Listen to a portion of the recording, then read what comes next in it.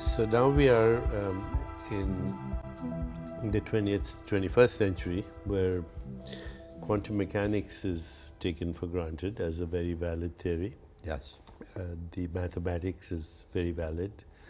It is very accurate. It's created all the technology All in technology. the world. And yet, uh, people are still arguing about the interpretation. As I see, I go on Wikipedia, there are 20 10 plus yeah, 20 plus interpretations. interpretation. You seem to uh, side with the uh, Copenhagen interpretation, which, by the way, as I checked across, is still the most popular of all the theories. I would say it's still the most popular. A few years ago, it went out of style a little bit with the many worlds interpretation, but I think people now are realizing that maybe many worlds is a little bit too much.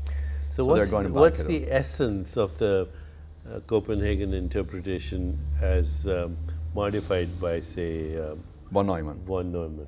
And indeed, there are different, different uh, schools, even within the Copenhagen interpretation, there are different schools. There is the um, more original Copenhagen, which was uh, put together by Niels Bohr. Then the reinterpretation by Werner Heisenberg. Uh, Pauli had some very deep insights. And last but not least, von Neumann.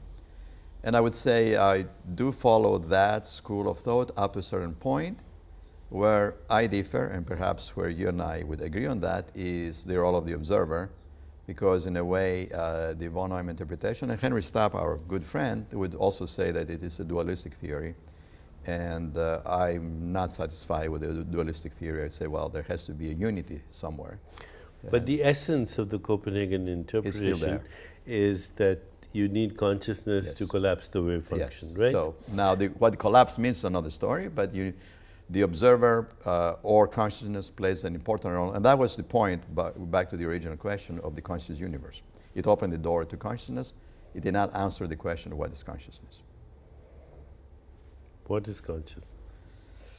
So lately, um, I've come to the conclusion that if indeed, if indeed what we're saying is the case, that consciousness is primary, and we'll give some more formal definitions, then it's got to be experienced everywhere, at all times, and it cannot be just a scientific statement. It has to be a common experience statement.